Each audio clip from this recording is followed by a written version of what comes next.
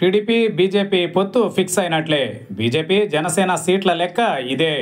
రాష్ట్రంలో సార్వత్రిక ఎన్నికలు సమీపించిన ప్రస్తుత పరిస్థితులలో భారతీయ జనతా పార్టీతో తన పొత్తు ప్రయత్నాలను మరింత ముమ్మరం చేశారు తెలుగుదేశం పార్టీ అధినేత ప్రతిపక్ష నాయకుడు చంద్రబాబు నాయుడు.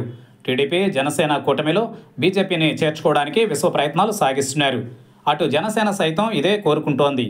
ముఖ్యమంత్రి వైఎస్ జగన్మోహన్ రెడ్డిని ఒంటరిగా ఎదుర్కొనలేమంటూ ఆ పార్టీ అధినేత పవన్ కళ్యాణ్ ఎప్పుడో తేల్చేశారు. బీజేపీతో మిత్రత్వం కొనసాగిస్తూనే తెలుగుదేశం పార్టీతో పొత్తు పెట్టుకున్నారు. ఉమ్మడిగా వైఎస్ఆర్సీపీని ఎదుర్కొనబోతున్నారు. బీజేపీ రాష్ట్ర శాఖ అధ్యక్షురాలు పురంధేశ్వరి కూడా టీడీపీ జనసేనతో కలిసి ఎన్నికలకు వెళ్ళడానికి సంసిద్ధతను వ్యక్తం చేశారు. బహిరంగంగానే ఆమె పొత్తు వ్యాఖ్యలు చేశారు. పొత్తు ప్రయత్నాల్లో భాగంగా చంద్రబాబు ఇటీవలే ఢిల్లీ వెళ్ళొచ్చారు. కేంద్ర హోంశాఖ మంత్రి అమిత్ షాను కలిశారు. ఇప్పుడు ఈ రెండు పార్టీల మధ్య పొత్తుల వ్యవహారం ఓ కొలిక్కి వచ్చినట్లే కనిపిస్తోంది. బీజేపీతో సీట్ల పంపకాల వ్యవహారంపై చంద్రబాబు ఎట్టకేలకు తెరదించారని సమాచారం. జనసేన బీజేపీతో కలిసి తెలుగుదేశం పార్టీ మహాకూటమిని ఏర్పాటు చేయడం దాదాపుగా ఖాయమైందని చెబుతున్నారు. బీజేపీతో పొత్తుపై ఈ నెల ఇరవై ఒకటవ తేదీన చంద్రబాబు నాయుడు ప్రకటన చేసే అవకాశం ఉంది. వీలైతే చంద్రబాబు జనసేన అధినేత పవన్ కళ్యాణ్ ఏపీ బీజేపీ అధ్యక్షురాలు దగ్గుబాటి పురంధేశ్వరితో కలిసి ఉమ్మడిగా విలేకరుల సమావేశాన్ని ఏర్పాటు చేసి మహాకూటమిని ప్రకటిస్తారని చెబుతున్నారు.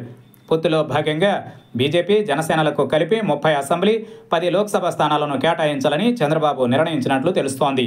ఈ ముప్పై అసెంబ్లీ పది లోక్సభ స్థానాలను బీజేపీ జనసేన పంచుకోవాల్సి ఉంటుంది. అసెంబ్లీ కంటే కూడా బీజేపీ అధికంగా లోక్సభ స్థానాలను కోరుకుంటోంది. ఈ పది లోక్సభ నియోజకవర్గాలలో ఏడు లేదా ఎనిమిది స్థానాలలో బీజేపీ పోటీ చేసే అవకాశం ఉంది.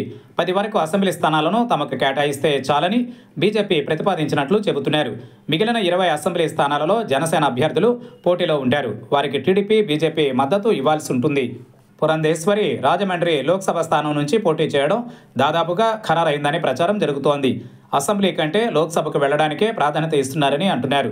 అన్నమయ్య రాయచోటి జిల్లాలోని రాజంపేట నుంచి ఉమ్మడి ఆంధ్రప్రదేశ్ మాజీ ముఖ్యమంత్రి నల్లారి కిరణ్ కుమార్ రెడ్డి బరిలో నిల్చోవడం ఖాయంగా కనిపిస్తోంది.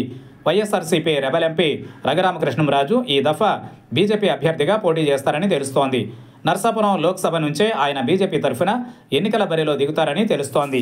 అనంతపురం లేదా హిందూపురం లోక్సభ సీటుపై బీజేపీ జాతీయ కార్యదర్శి వై సత్యకుమార్ పోటీ చేస్తారని చెబుతున్నారు.